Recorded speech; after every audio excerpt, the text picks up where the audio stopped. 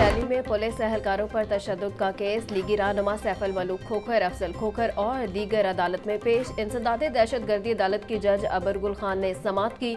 अदालत ने मुलजमान के खिलाफ समात तेईस अक्टूबर तक मुलतवी कर दी। मुलजमान के खिलाफ थाना नवाब टाउन में मुकदमा दर्ज है।